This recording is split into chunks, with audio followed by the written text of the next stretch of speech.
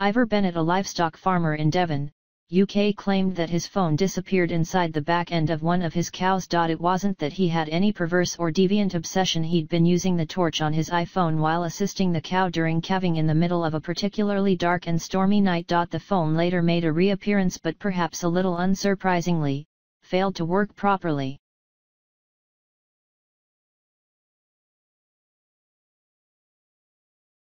Isabel Parker, the 72-year-old queen of the slip and fall scam, prostrated herself in department stores, supermarkets, and liquor stores 49 times during her long career a sad byproduct of her gambling addiction. Prosecutors said that she treated insurance claims like her job and she kept very busy. The woman filed a total of 49 bogus personal injury claims in Philadelphia, Delaware County, and New Jersey, and collected $500,115 between 1993 and 2000. She pleaded guilty to 29 counts of insurance fraud and theft in New Jersey alone. Result, 4-year sentence under house arrest. Carla Patterson tried to tap a Virginia Cracker Barrel restaurant for a $500,000 insurance settlement after discovering a mouse in her vegetable soup on Mother's Day. But the national chain investigated further, and found that the mouse had no soup in its lungs and therefore had not been cooked. The jury believed that the only way the mouse could have appeared in the soup is if she'd put it there. Result, one year prison sentence for conspiracy to commit extortion, but she still maintains her innocence. A man from Delaware torched his own home and his own convertible to collect on his homeowners and auto insurance. Nicholas DePuma said it all started when pans on his wood stove ignited while he was cooking. Then buckets of coals caught on fire.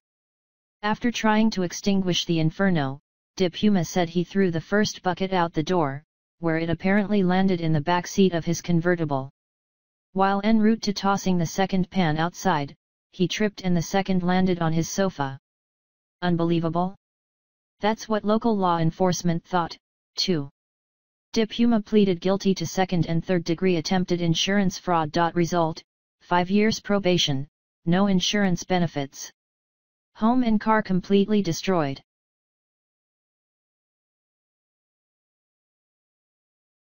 Some wedding days just don't turn out the way you expect. Everything seemed to be going well on the day for Paula Catali from Rimini, Italy, until her beautiful, handmade wedding dress came slightly too close to the barbecue. The synthetic material went up in flames immediately, and within moments Catali was what no girl on her wedding day ever wants to be a bride on fire. Her loving husband saved the day by picking her up and throwing her into the sea. Fortunately, both bride and groom were excellent swimmers. Result, the insurance company paid out 50% compensation for the disaster possibly out of sympathy.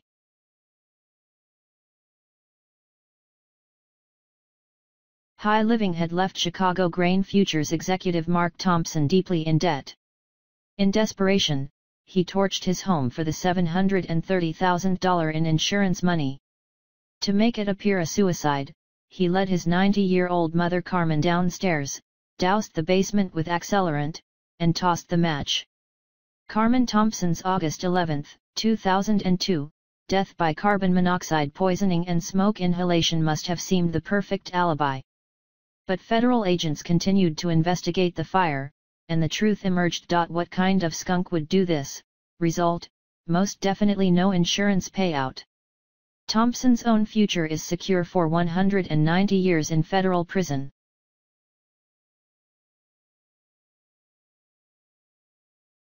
An unnamed, you'll see why, woman in her late 20s from Bristol, UK, deserves particularly honorable mention in this list. Last year she claimed that the vibration function on her BlackBerry Bold 9900 phone had stopped working wait for it while she was using it as an adult toy. Result, raucous laughter from inside the insurance claims office for several days.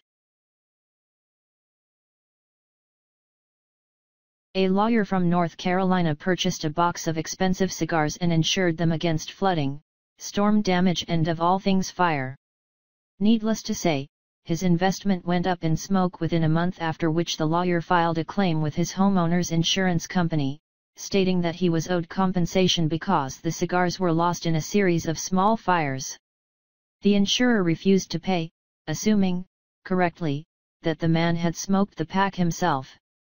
A judge ruled, however, that since the insurer had never stated what was considered to be unacceptable fire, the company did, in fact, owe him $15,000 to replace his property. Result, the insurance company paid the claim, but then had the lawyer arrested.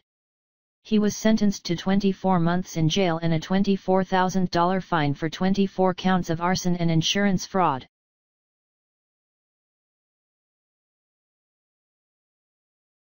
People were falling off their chairs laughing when British travel agency Club Direct began issuing policies to cover injuries caused by falling coconuts. Brent Escott, their managing director, cited statistics which show that 150 people or 10 times the number of victims from shark attacks are killed every year by falling coconuts. There was some perception that perhaps Mr. Escott had been struck on the head. That same year in Sri Lanka, a Club Direct customer was calmly sitting under a palm tree reading a book when a coconut fell on her head, knocking her out cold. She was duly hospitalized. Lucky. Result, insurance company paid out in full. Mr. Fairclough was driving home from Christmas shopping, when he saw a car coming the other way with a Christmas tree badly tied to its roof. This must have been a split-second observation, no sooner had he seen it than the tree launched itself straight at him. He was driving too fast around a sharp bend and I saw the tree lift off and it flew straight at me. The trunk made a great dent in my bonnet and caused me to swerve off the road into a hedge. Mr. Fairclough added, the chap didn't stop and he never came back for his tree, so the police said we might as well have it. It wasn't funny at the time, but looking back it was like a comedy sketch. Nice. Result, insurance company paid out all damages.